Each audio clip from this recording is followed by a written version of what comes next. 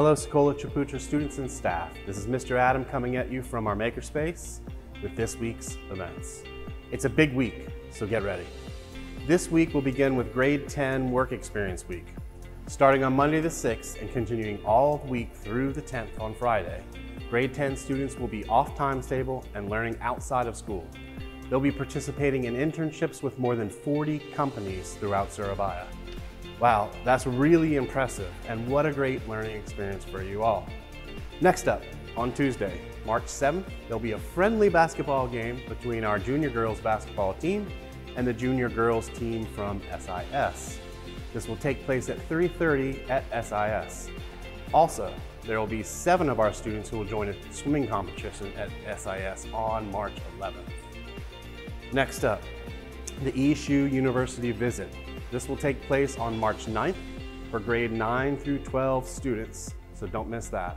And on Thursday the 9th as well, there will be a HS assembly led by grade 7. That's from 1 to 3 p.m. in Ciputra Hall.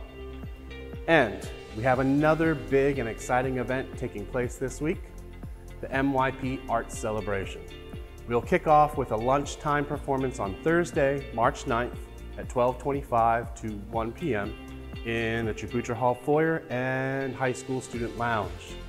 Then, the art celebration performance night will be on Friday, March 10th, starting with a welcoming performance in the Ciputra Hall foyer at 5.30 and then continuing in Ciputra Hall until 7.30 p.m.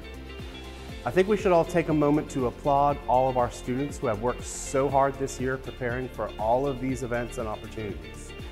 Sekolah Ciputra students prove themselves to be profoundly creative again and again. Remember that your hard work will be worth your effort, despite the outcome. Aim high, do your best, and be not afraid to fail. In fact, failure is not an option. You heard me right. Failure is not an option, but rather an essential component of learning, what's required to ultimately succeed, and then create the best outcome. So, embrace being a creative risk taker. It's essential to your success. Your teachers support you and believe in you. Believe in yourself, learn from your mistakes, be kind to yourself, and move forward better and stronger than ever.